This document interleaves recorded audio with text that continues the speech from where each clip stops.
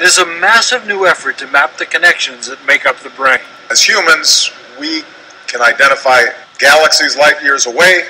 We can study particles smaller than an atom, but we still haven't unlocked the mystery of the three pounds of matter that sits between our ears.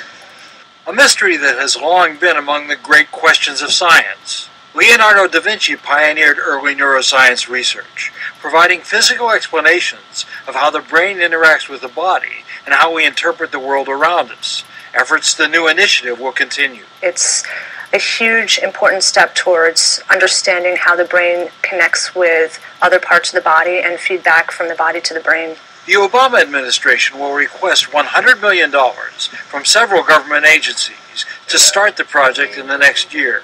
But many scientists say exactly what the initiative will do is not clear. I think that the goals and endpoints are on the vague side, but I personally see that as a positive. Why positive? For one thing, doctors hope that any new research efforts could produce unexpected leads toward treating brain disorders ranging from autism and strokes to Alzheimer's. And perhaps most important, scientists welcome a new promise to spend money on research at a time when science budgets are getting squeezed ever more tightly, especially for younger researchers.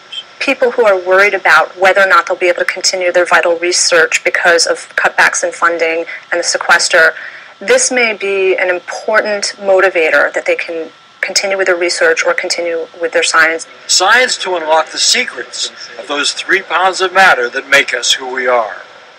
Robert Bazell, NBC News, New York.